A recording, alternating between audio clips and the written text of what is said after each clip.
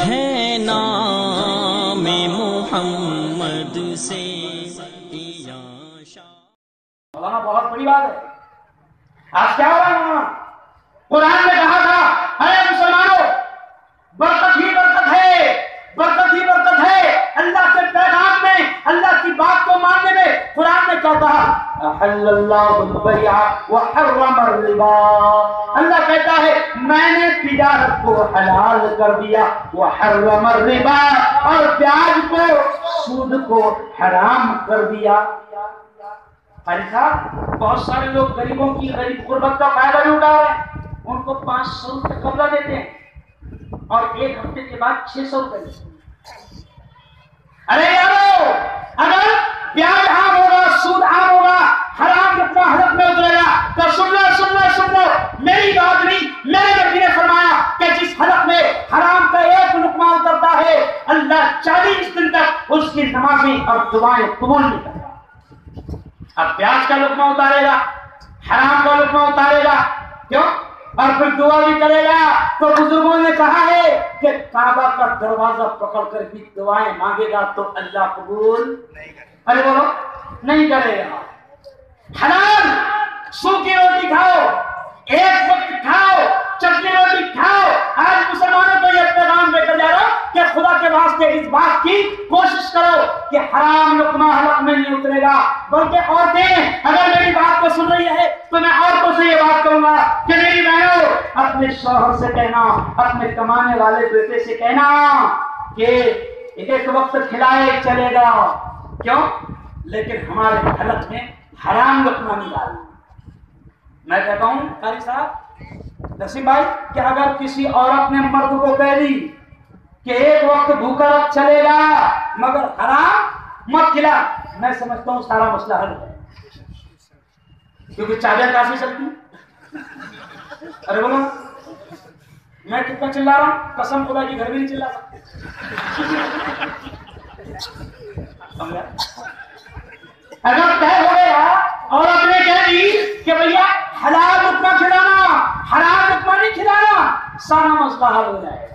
लेकिन औरतों को भी, ये जो ये जो माहौल चल रहा है ना, ये माहौल, ये फ़ैशन का माहौल, ये ऐश परस्त माहौल, ये भारी भारी कपड़े, और फिर एक दूसरे का देखकर देरानी ने फ्रिज ली देरानी ने फ्रिज ली डबल डोर का भैया देरानी ने कौन सा ली अरे बोलो। डबल डोर का। देरानी ने, डबल डोर का फ्रिज ली तो जेठानी फ़ौरन पहुँच जाती और दुकान वाले को बोलते फ्री डोर दे तोड़ता मेरी माँ अभी तक के फ्री डोर बने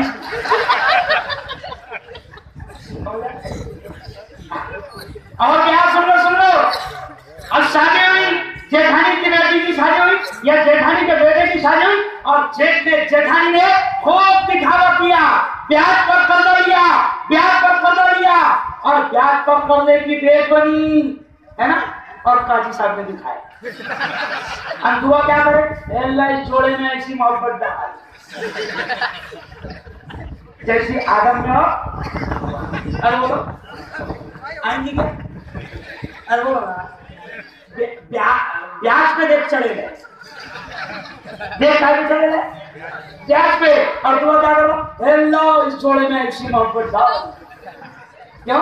जैसे आदम और नहीं ज़िंदा वली को पकड़ के बिठा दे। किसको बिठा दे? हराम लुकमा क्यों?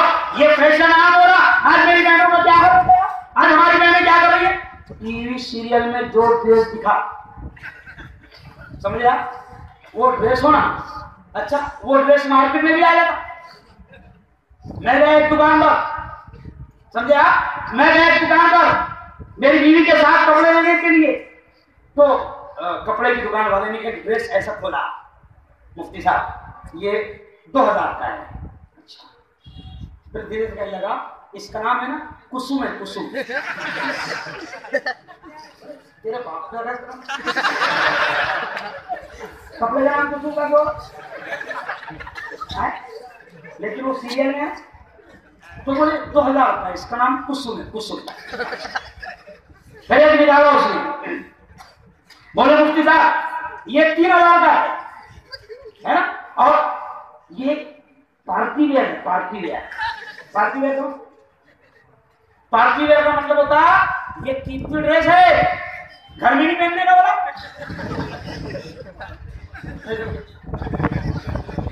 शहर के वास्ते नहीं पहनना है, ये पार्टी है। उसको बोलते क्या? पार्टी? वेयर यानी ये शोहर को पहनने का नहीं है, शोहर के सामने नहीं है, ये पार्टी वेयर क्या पचास, सौ हज़ार लोग जमा होंगे वहाँ पहनना। अरे मेरी बहन, सुन ले। मेरी बहन तुझे सजने का इस्लाम ने फुल ऑर्डर दिया। तुझे सवरने का फुल ऑर्डर दिया। तुझे मेकअप का फुल ऑर्डर दिया। लेकिन इस्लाम ने क्या कहा?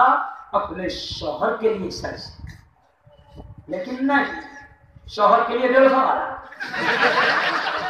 जिसको देख के डेढ़ाया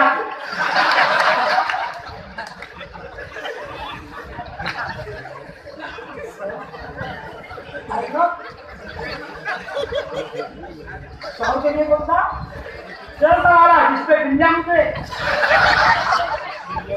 हाँ खट्टी है। हम तीन हज़ार वाला कहा पार्टी है। क्या? अच्छा और आगे और उसने एक और ड्रेस दिखाया। एक और ड्रेस दिखाया। और क्या कहा मालूम? सुनो सुनो सुनो। एक और ड्रेस दिखाया। और खोलते से कहा मुफ्ती साहब ये है ना साढ़े चार हज़ार का है। मैंने इसका नाम?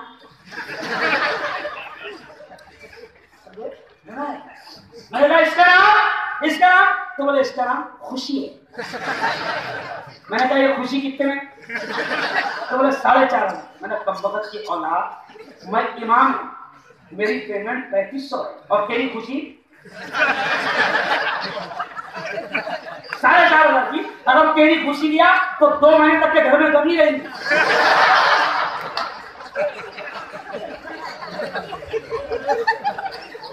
क्या रहेगी अरे तो समझे तो मेरी बहनों मेरी बहनों, खुदा के वास्ते, खुदा के वास्ते इन नाचने गाने वालियों के लिबास क्या अरे किराए के नाचने वालियाँ हैं। चौबीस तारीख को मेरा फ़िल्म इंडस्ट्री में बयान इससे पहले भी जब बयान हुआ, सारे एक्टर्स मेरे सामने मौजूद थे। उनको भी मैंने कहा, जो हीरो थे हीरोइन थी, सबको मैंने कहा कि लोग तुमको स्टार कहते स्टार हीरो तुमको लोग आइडिया मानते मैंने साफ़ कहा कि तुम हमारे स्टार नहीं हो, तुम हमारे आइडियल नहीं हो, तुम हमारे नमूना नहीं हो, तुम हमारे हीरो नहीं हो। हमारे आइडियल, हमारे नमूना, हमारे हीरो मदीना, हज़रत मोहम्मद तुम नहीं हो हमारे आइडियल। कुरान ने कहा, लकद कान लकुम फ़ी रसूलिल्लाहि उस्वतुन हसना। कुरान ने कहा सुनो सुनो सुनो। कुरान ने कहा कि रसूल की ज़िंदगी तुम्हारे लिए आइडियल है। मैं गाल रखूँगा तो मेरे नदी के स्टाइल पर मैं चलूँगा तो नबी की स्टाइल पर। और सुन लो गाँव वालों, सुन लो सुन लो, मेरे नबी की हर हर अदा, मेरे नबी का हर हर स्टाइल अल्लाह ने महफूज कर दिया। हदीसे उठाओ, मेरे नबी की ज़िंदगी उठाओ, आपको दिखेगा, मेरे नबी का हेयर स्टाइल मेरे नबी का ड्रेस स्टाइल मेरे नबी का वॉकिंग स्टाइल मेरे नबी का टॉकिंग स्टाइल मेरे नबी सारी अदाएँ, सारे तरीके अल्लाह ने महफूज कर दिया। और मेरा नबी वो, मेरा नबी वो कि जिसने पेशाब करे तो कैसे करे? ये भी सिखाया, टॉयलेट में बैठे तो कैसे बैठे? ये भी सिखाया, घोड़े पर बैठे तो कैसे बैठे? ये भी सिखाया, सवारी पर बैठे, बस में बैठे, रेल में बैठे तो कैसे बैठे? ये भी सिखाया, चप्पल पहने, जूता पहने तो कैसे पहने? ये भी सिखाया, अरे जिस नबी ने पेशाब और पाखाने के तरीके तक सिखाया, क्या वो नबी बड़े बड़े तरीके नहीं सिखाएँगे और मेरी बहन, ये नाचने गाने वालियों का लिबास त्याग करो। ऐसे नकाब मत पहनो आज का मामला नकाब भी ऐसे निकल गए तो उसको भी एक नकाब होना नहीं समझा नकाब को भी एक नकाब की अरे बोलो ज़रूर ऐसे नकाब नहीं पहना मेरे भाइयों खुदा के वास्ते आप बातों को समेटते समेटते और एक आपसे आपको पैगाम देना चाहूँगा और एक पैगाम देना चाहूँगा हम मुसलमान हैं हम मुसलमान हैं हम नबी के मानने वाले हैं और हमारे नबी ने क्या कहा हमारे नबी ने क्या कहा हमारे रब ने क्या कहा हमारे रब ने कहा कि नबी की मान लो, कामयाब हो जाएँगे और नबी ने क्या कहा? सुन लो, अब बहुत अहम पैगाम आखिर अखिर नबी ने कहा खैरुन्नास मैयन फउन्नास क्या मतलब? मेरे आका ने फरमाया, सुन लो सुन लो, मेरे आका ने फरमाया कि तुम में सबसे अच्छा तुम में सबसे बेहतर वो है वो इंसान है जो दूसरे इंसानों को नफा पहुँचाए। और इंसान का क्या फ़ायदा मुसलमान का तमाम इंसान। गौर करो जुमले क्यों? क्या कहा? खैरुन्नास इंसानों में सबसे अच्छा इंसान वो है मैयन उन्नास जो इंसानों को नफा पहुंचाता हो, तकलीफ़ ना देता हो। ये मेरा नबी कहता है। क्यों? और देखो, नबी ने जो कहा, क्या कहा? एक और हदीस है, मेरे आका ने तीन मरतबा कहा, क्या कहा? वो सच्चा मुसलमान नहीं हो सकता, वो कामिल पक्का मुसलमान नहीं हो सकता, जिसके पड़ोसी उसकी तकलीफों से परेशान हो। यहाँ पड़ोसी का मुसलमान पड़ोसी नहीं का पड़ोसी। अब पड़ोसी में अब्दुल्ला भी हो सकता है अब्दुल रहमान भी हो सकता है, हारून भी हो सकता है, रमेश, प्रकाश, कैलाश और गणेश भी हो सकता है। मेरे नबी ने कहा, अगर नबी के मानने वाले हो तो सुन लो, मेरे नबी ने कहा, वो सब तीन मरतबा कहा वो एक बार नहीं, तीन मरतबा वो मुसलमान नहीं हो सकता, वो मुसलमान नहीं हो सकता, वो मुसलमान नहीं हो सकता, जिसका पड़ोसी उसकी तकलीफों से परेशान है। है ना? अभी तो ऐसा हो गया कि हमारे पड़ोस में रमेश प्रकाश रह भी रहे। बल्कि मैं जगह गया। तो देखो, और से सुनना। लोग मुझे बता रहे थे, मुफ्ती साहब, ऐसा मैं कार से गुजर रहा था? और लोग मुझे बता रहे थे, मुफ्ती साहब, कोई टेंशन नहीं, पूरे अपने वाले हैं। क्या है? अपने वाले हैं, पूरे अपने वाले हैं। अच्छा फिर आगे जब मैं गया तो दो तीन हिंदू बहनें नज़र आई और हिंदुओं के घर नज़र आए तो मैंने कहा, ये दो तीन, ये दो तीन तो क्या कह रहा सुन लो इनका भी